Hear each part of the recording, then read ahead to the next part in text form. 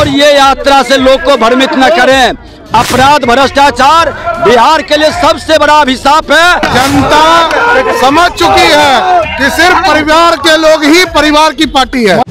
बिहार की सत्ता से बाहर होने के बाद से तेजस्वी यादव जन विश्वास यात्रा पर आज से निकल चुके हैं। लेकिन आपको बताते चले कि बीजेपी के नेता और डिप्टी सीएम सम्राट चौधरी और विजय सिन्हा ने खूब जोरदार हमला बोला। आपको बताते थे कि धानुक महारैली में पहुँचे हुए थे और वहीं पर कार्यक्रम से बाहर निकलते समय जब विजय सिन्हा से पूछा गया तो उन्होंने कहा कि किस, उनको जब मौका मिला था तो उन्होंने सिर्फ़ अति पिछड़े को, बेटा को लहू बहाने का काम किया और जहाँ पर वो गए हुए हैं। वहाँ पर सहनी समाज के बेटा को न्याय दिलाना था, तब कहाँ इनकी आवाज़ थी। साथ ही उनकी, उन्होंने ये भी कहा कि जिस तरीके से इनको काम करना चाहिए था, वो काम नहीं किया सुनवाते पहले, आपको विजय सिन्हा क्या कुछ कर में अराजकता पैदा करने वाले और बिहार के लोगों के बीच दहशत पैदा करने वाले अपराध और भ्रष्टाचार को चरम पर पहुँचाने वाली पार्टी है और राजद के जो अभी उत्तराधिकारी बने हैं, जो युवराज बने हैं, मौका मिला था सुधरने का, लेकिन उन्होंने सुधरा नहीं। उस मुजफ्फरपुर की धरती पर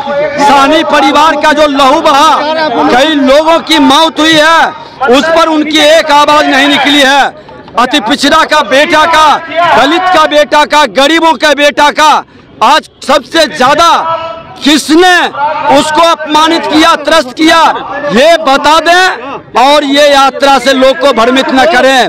अपराध भ्रष्टाचार बिहार के लिए सबसे बड़ा अभिशाप है और जब तक अपराधी और भ्रष्टाचारी को लोग गलबहिया करके रखेगा। अरे विजय सिन्हा, एनडीए गठबंधन बिहार के मुख्यमंत्री नीतीश कुमार जी और देश के प्रधानमंत्री नरेंद्र मोदी जी ने कहा है कि मैं सबका साथ, सबका विकास, मैं समाज में भेद नहीं करता, लेकिन अपराध और भ्रष्टाचार मुक्त बिहार आज बिहार के लिए आवश्यक है बिहार गाली नहीं बनेगा बिहारी गर्व का और सम्मान का विषय बनेगा। तो आपने सुना किस तरीके से बीजे सिन्हा तेजस्वी यादव पर खूब बोल रहे हैं साथ ही कह रहे कि जिनको जब मौका मिला था तो इन्होंने काम नहीं किया है। वहीं सम्राट चौधरी को सुनाते हैं क्या कुछ कर रहे और लालू जी इसी की पार्टी है इसमें कहा तो मत है? सत्ता में भी वही विरोध में भी वही। आज विरोधी दल के नेता भी माए और बेटा ही बने कोई तीसरे को नहीं बनाया। कुछ नहीं जनता समझ चुकी है कि सिर्फ़ परिवार के लोग ही परिवार की पार्टी है। जतरा खराब हो गया।